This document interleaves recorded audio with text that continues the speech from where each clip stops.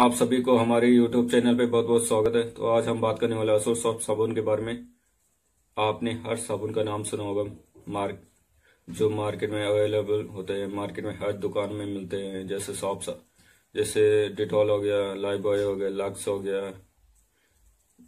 नीम के मतलब अलग अलग कई प्रकार के साबुन होते हैं और कई नाम के होते हैं। और ये साबुन का नाम आपने कहीं नहीं सुना होगा।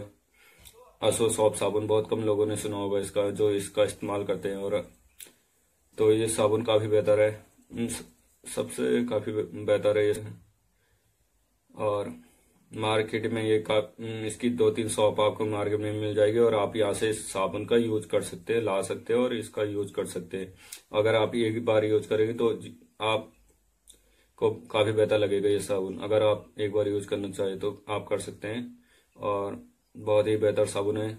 इसमें नीम की मात्रा काफ़ी है। नीम हो गया, तुलसी हो गया, पुदीना हो गया और ये साबुन आपको मार्केट में अवेलेबल कहीं भी मिल दो तीन दुकान में मिल जाएगा।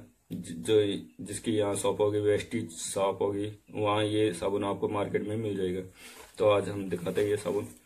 ये असुर सॉप साबुन है। आपने देखा होगा, काफ़ी बेहतर है और काफ़ी सॉफ्ट है। साबुन एक बार आप यूज़ करके तो देखो तो कितना बेहतर है ये साबुन। मैंने इसमें पुदीना हो गया, नीम हो गया, इसकी खुशबू भी काफ़ी बेहतर है, और आप इस साबुन का यूज़ कर सकते हैं, और मार्केट से इस साबुन का आप यूज़ ले सकते हैं। अगर आपको वीडियो अच्छी लगी हो तो लाइक और सब्सक्राइब ज़रूर करें, और घंटे का बटन ज़रूर दबाएँ, क्योंकि आने वाली वीडियो आप देख सके।